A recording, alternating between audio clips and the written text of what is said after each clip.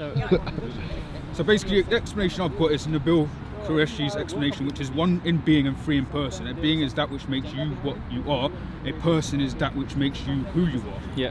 And, and what I say is, what I am is human, and what my name is is my person. So I'm, I'm trying to think, like, how would I be able to explain it fully? Because then I, I would be told, well, how did God become a child and suckle on Mary's breasts? Okay. I've been told that a million times. Right. So so so the the, the question that, that God becomes a child and suckles on Mary's breasts has no connection to the Trinity. That's a question about the incarnation. Yeah, yeah. I- So, so when people raise that, it's a red herring. Usually, the kind of argument that they raise is how can one be three and three be one? Okay, and then they'll come out with this silly kind of statement: one plus one plus one equals one. No, it equals three, but you believe it's one because you're stupid. And then you said to them, well, if I've got a Hafs Quran, a Warsh Quran, and a Duri Quran, how many Qurans I've got? And invariably, they'll say one having just said that one plus one plus one doesn't equal one. But there you go. Um, so in terms of in terms of the the explaining the Trinity, we don't need to reinvent the wheel. Yeah, we don't need to reinvent the wheel. We don't need to. Um, So you just know, say that one we- being uh, so, in three yeah, persons. Is he's, he's, he's a really good way because what, what he's essentially said is the way that the way in which the three are one and the way in which they are three is not the same. And once you realise that, the idea that three can be one and one can be three make, is totally rational, totally logical.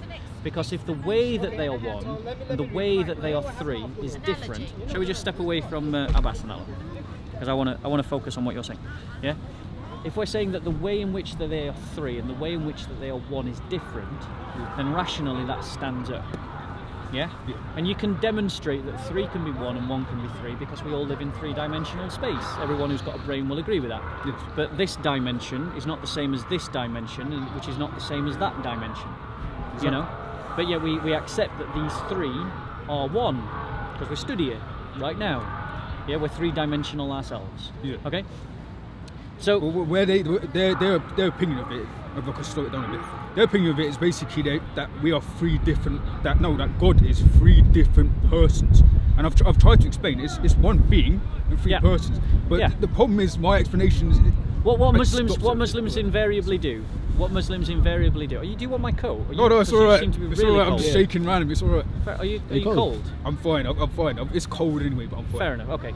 So in terms of in terms of in terms of um, this question, the, the the thing that we've got to recognise is that the, the errors that Muslims make in their arguments are, are one of two ways. They either confuse the persons and say that the three persons are one person, or that they divide the divinity and say that one God is three gods. And invariably, whenever Muslims make arguments against the Trinity, they either do error one or error two.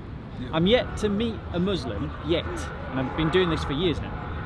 I'm yet to meet a Muslim that will actually argue against the Trinity as we believe in the Trinity. Yes. What they do is they invent a straw man Trinity and then argue against the straw man Trinity. So they invite they invent either three persons being one person, which is not what we believe, Exactly. or they invent the idea that the, the divinity is divided into three. Well, they also believe that Which is Mary not what we believe. is part of the Trinity. Which Well, is, this is the thing. Hold on. An educated Muslim knows better. Muhammad Hijab knows better. But the Quran doesn't know better because the Quran says that the Trinity is Allah, Jesus, and Mary. But that is not what we believe. So, in terms of explaining it, what I would say is you start in the Old Testament and you show in the Old Testament that there is only one God, that God is one within himself, and that there are no other gods. So we've established that there is only one and that God is one within himself. And there aren't any other divinities. So it's one, one, one. Yeah? Okay? Yeah. And then you show in the New Testament that the Father is God, that the Son is God, and that the Holy Spirit is God. So if the Father is God, and the Holy Spirit is God, and the Son is God, but there's only one God, and there aren't any other gods, and only one God should be worshipped, then biblically we're right to understand that the Father, Son, and Holy Spirit are one God. Because they can't be three separate gods, Exactly. because there are no other gods. Exactly. And they can't be a division within God, because God is one within Himself. So, And there isn't another God to be worshipped, so we can't worship these three uh, as separate gods. But at the same time, they are all God. So that, that's biblically how we do it. Yeah. And do you know the verses for that? I mean, well, um, I mean, if you've watched enough of my videos, you probably would have seen me quote them variably um, the verses for what say to show to show what I've. d- Those are your three points. When you go and watch this again on video, yeah. I would say you- Genesis one chapter what, what, well chapter one one it, it says it right there. the Go on. In the beginning, God created heaven, earth, and earth, and earth was without form of void. Yeah, yeah, I probably gonna post that one, And yes, darkness first. was upon the face of deep, and the spirit of Yeah, God cool, well, thanks for moved your upon the face bro. of waters. And God said, "Let there be light." And then if you go Yeah, down a bit more, um, sorry, there's a passage where it says day. So Yeah. yeah, yeah, yeah. It does I'm say sorry, no, no, no. In Genesis, it does it does use the it does I'm, use the I'm- plural. I'm literally new to this because I've just been continuously reading it. Yeah, yeah, it does But- say this. But I, I, do want to pick this up because a lot of Christians use um, Genesis chapter 1, verse 1 to talk about the Trinity. And, and, and that is actually a really poor use of scripture. Is it? If you're yeah, because if you're saying no, no, one second, one second. It does it does show the Holy Spirit, and it does show that the Holy Spirit and, and God are not the same person Yeah, but if you it if you look at. Genesis, But what I'm 8 saying, sorry. what I'm saying is, it doesn't. Some people use this to try and say that the whole Trinity is there, and I think that's a bad use of scripture. Okay, so Genesis because it implies that light is created. So it's Let Genesis there be light, and then they use light as a reference to Jesus, and that is meaning that Jesus is created, and that's why that is a bad use of the Old Testament. But the Old Testament does show Trinity in the sense of shadowy. I know- say Genesis 16. It's either Genesis 16 or Isaiah. Genesis 18, where God, basically God um, comes down to Abraham in Mamre, and he appears at the door, and and he says he says Lord, and there's three of them there. Yeah, yeah, yeah. So this is Trinity in shadow. yeah, that's true. So, so in the same way that our shadows right now have our form, but they don't have our detail, in the Old Testament, you see the Trinity. yeah, Yeah, but the detail comes in the New Testament. It's like if that camera of JC starts at the shadow, like if it starts over there and captures my shadow, you've got the outline of my shape, but then the detail comes when you look at me. So the Old Testament shows the Trinity in shadow, and then the New Testament shows the Trinity in detail. yeah. Yeah, so it's like a closer look. Do you yeah, get it? Yeah, yeah, I get what you're saying. Yeah. get what you're saying. So so yes, that that would be an example of it. But what I would say is when it comes to when it comes to um, the Trinity, take them through the the the the, the, step by step where, where it teaches that there's one God, there's only one God, there isn't another God, and that God is Father, Son, and Holy Spirit. yeah, Yeah? Yeah. Now the thing is, if they don't want to accept that, like if they're going to argue that this is illogical, don't feel that you need to jump around to their tune. If they're saying, "Oh well, that doesn't prove it," don't don't go Or running. what I would normally say is that Ma- Ma- um, Jesus, God was sucking on Mary's breast, or saying that God had sex with Mary. It's this kind of Well, the- diversions. the- these, the know point. this, though? the- these, these, these, these are kind of stupid arguments. I know they're stupid arguments, but it, it just gets to the point where I'm trying to explain it, and Yeah. because But I'm the- looking through my what text. I'm saying, bro, is, what I'm saying, bro, is No, hold, do you hold, hold How do you know it firm. Hold, we'll, we'll No, come I- back. I didn't say no, that. we, we, just- we don't believe claim that. that, We don't believe claim that. that. How do they know this? They, they, they, yeah, they just Ah, make okay, it up. they They're just make making up. up with stupid They arguments. make it up. They're coming up with stupid They arguments. said, how come Jesus was sucking? I mean, you have to prove it in the text. Without the text, you don't know if it happened But, but, but, but I mean, the, the point is, it's actually irrelevant to the idea of whether Jesus is God. If Jesus is God and he becomes a man and as a child suckles on his mother's breasts, that doesn't mean that he's not God. God is not defined about whether he can or can't become a man. And if he can become a man, and he does become a man, and then for he, he places himself within that world, it's, it's not an argument that he isn't God. Well, what I've actually said is, sorry, why not say if it's not in the text?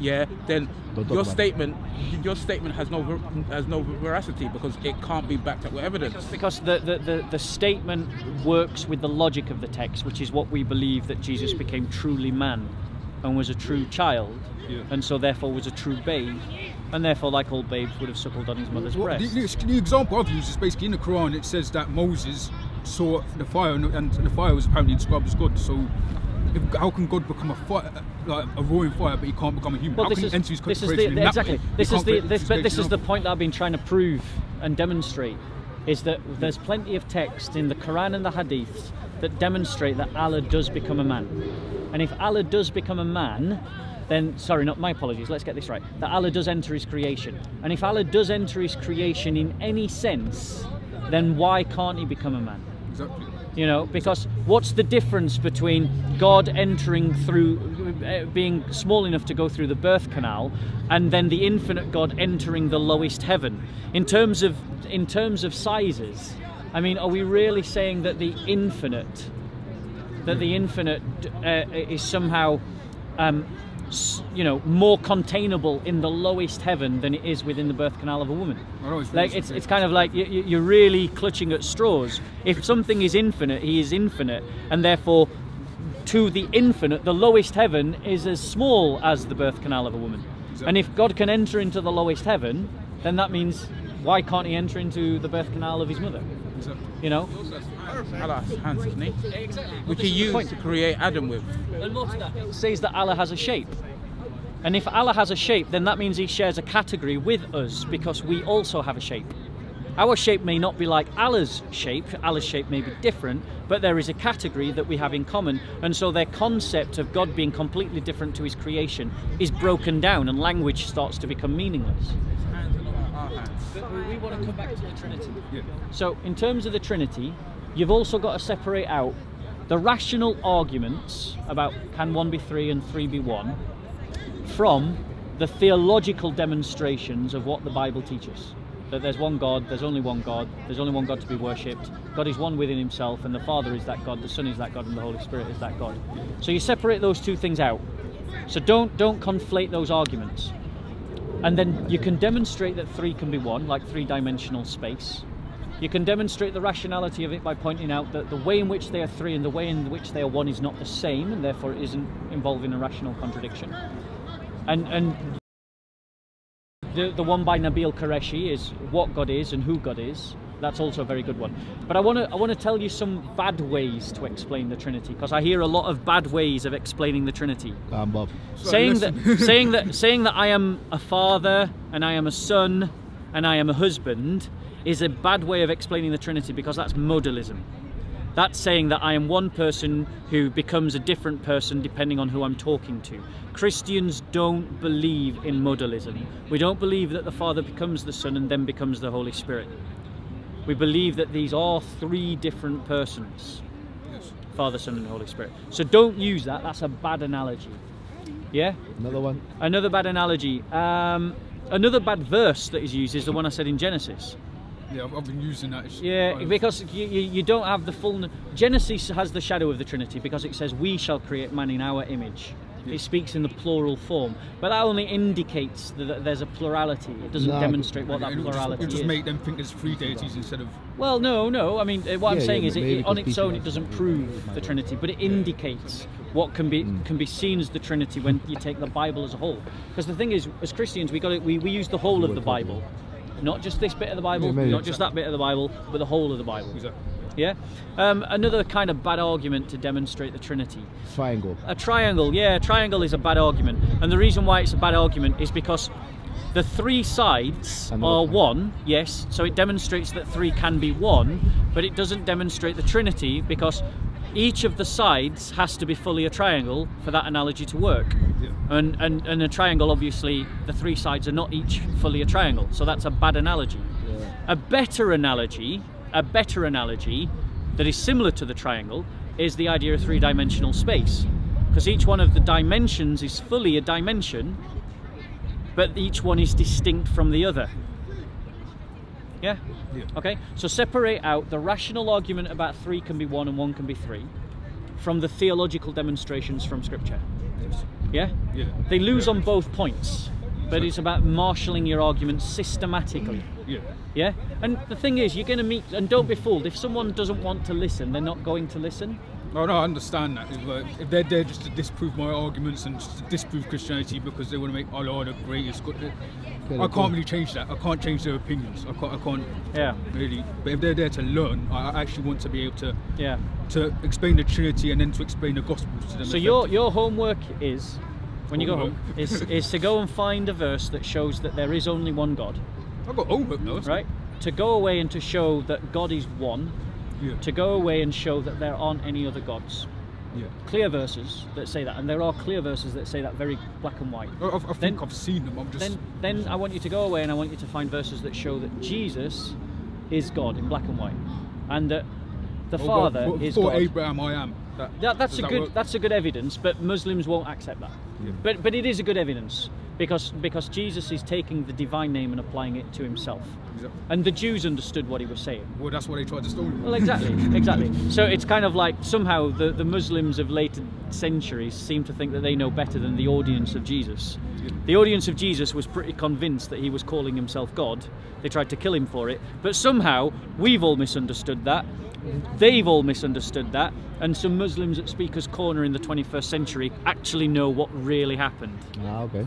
You know so don't part of what you need part of what all christians need is to have some real inner strength and conviction about what we believe and stand by Exactly. and not to have to dance to their tune running around thinking that we have to jump through their loopholes because we don't Yeah, because they'll just say, where, where was that? Where, where's this? Where's where's it say that Jesus is God? And like, if, you, if Well- you bring them like something that's that claims that, they'll still be like, well, what happened here? And they'll just skip the argument. yeah yeah that's another thing to do don't let them skip around the bible like it don't let them skip actually ask them to engage with what you're presenting to them. Exactly. and to deal with the argument that you're presenting to them. Yeah. So the, the, the, the, the fact that Jesus takes the divine title and applies it to himself, not just taking it and applying it to himself, but does so in such a way as to suggest that he existed before Abraham, yeah? Like, they have to engage with that point, you know, because, because they have got to engage with the fact that Jesus is claiming preeminence before Abraham in time and status. So that means he's he's ahead of the covenant. So the covenant that Abraham established, the one from which the Mosaic covenant emerged, Yeah. Jesus is claiming preeminence before those covenants themselves. Yeah, implying that he is. So who can be greater than the covenant that God establishes with Israel? Yeah, God, God himself. Yeah, and the Jews knew that. But they've got Muslims have got to engage with that argument. And any Muslim who's watching this, I'd ask you to be sincere. Your faith tells you to be sincere, so sincerely engage with the texts and what the texts say. Yeah. Yeah, has that helped? Yeah, it's helped. I'll go home and study it more and try to. Yeah, I'll listen but- to what you're saying, not replay it back. But don't don't feel you need to run around after them. If they are not willing to, to engage, if they're not willing to listen, then all you can do is deliver the truth, speak it, and then if they don't want to listen to that, you don't feel that you have to run around on calls after them. I, I see what you're saying. It's just like with the Hebrew Israelites, I did the same thing where I was like, I have to show them this verse, but they weren't willing to listen to it. Yeah. They were like, Jesus is black, and it doesn't matter what you say, Jesus is coming for the Israelites, even though it doesn't say that. It actually says he's, he's um, fulfilled that covenant, Yeah. but the, the laws are still. Wait, the laws still exist, so he didn't change the laws, but through his blood, we are saved. Yeah. Am, am I explaining that right? We are saved through his blood, yes. Yeah. Yeah. so, but the thing is, they, they have to be willing to, to engage. They have to be willing Yeah, to. But you don't need to run around after them. If you've given a perfectly good demonstration, they have to uh, tell you what's wrong with your demonstration. And if they can't do that without straw manning you, which is often what they do, in my experience, they straw man you. If they can't do that without straw manning you, then your argument is valid and they have to deal with that. Yeah. Yeah, and they can't. Don't let them get away with double standards. They'll they'll say to you, you can't you can't take a little snippet out of the Quran in isolation without looking at the whole.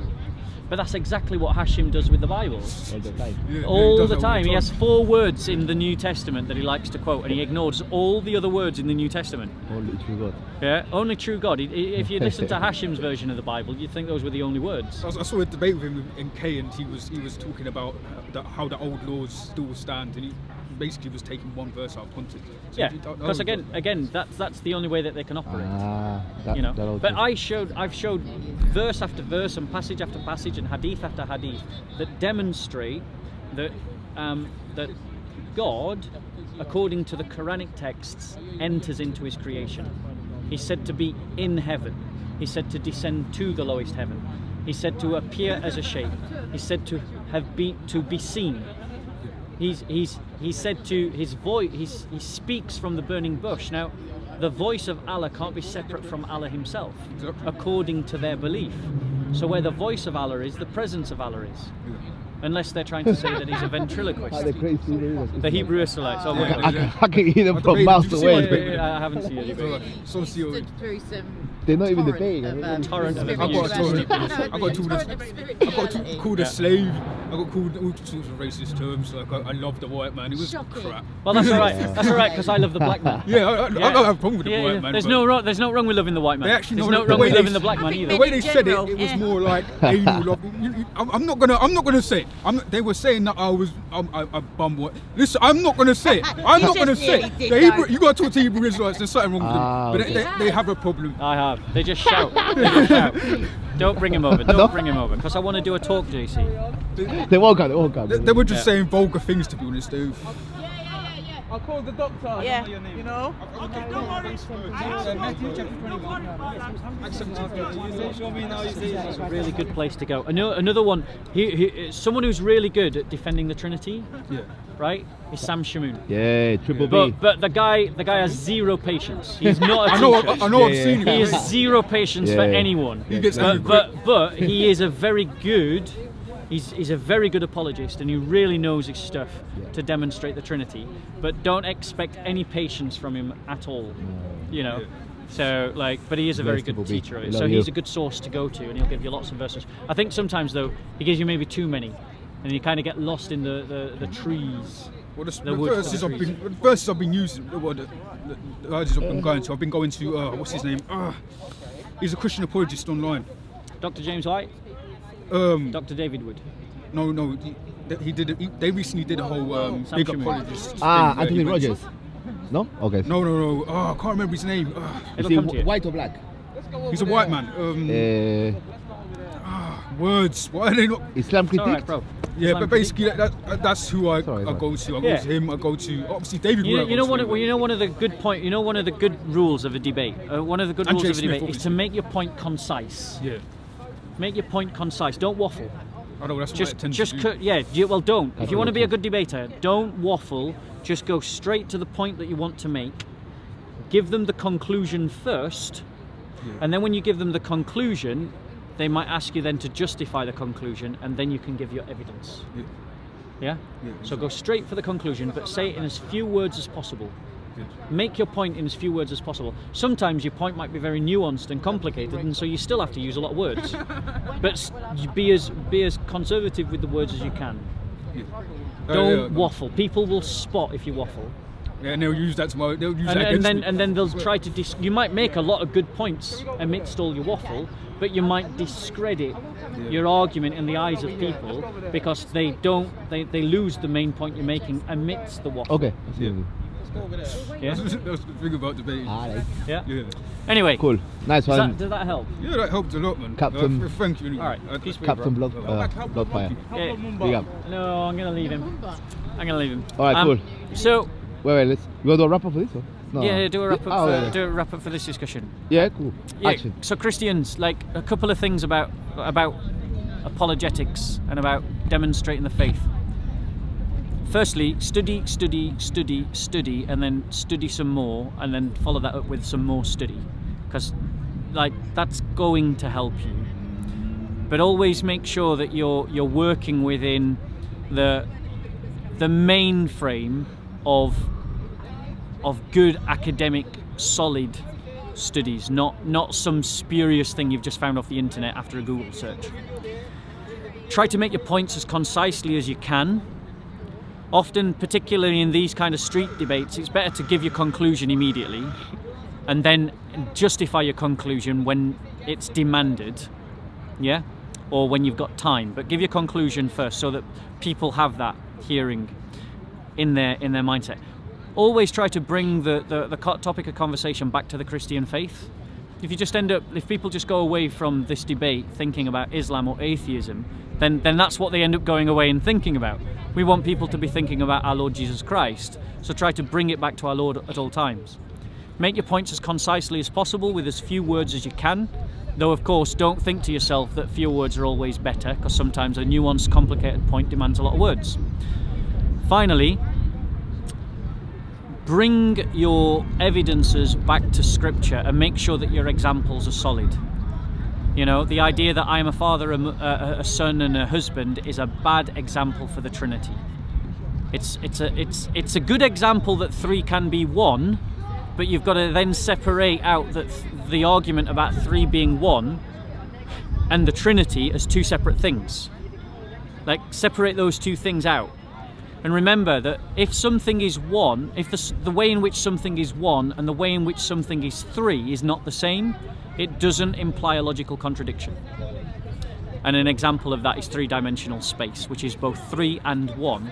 And no one would argue that the three dimensions are really one dimension or that the one dimension is really three dimensions or that dimensionality is not shared between all three dimensions. Yeah, we've got to we've got to be sharper as Christians in the way that we communicate our faith, because right now a lot of Christians sadly are doing a bad job, and I think that's because as a culture within the church we've lost the art of apologetics, and we've lost scholarship, and we've lost the idea of study within our faith, and that's something that we have to recover. Anyway. Thank you, Bob.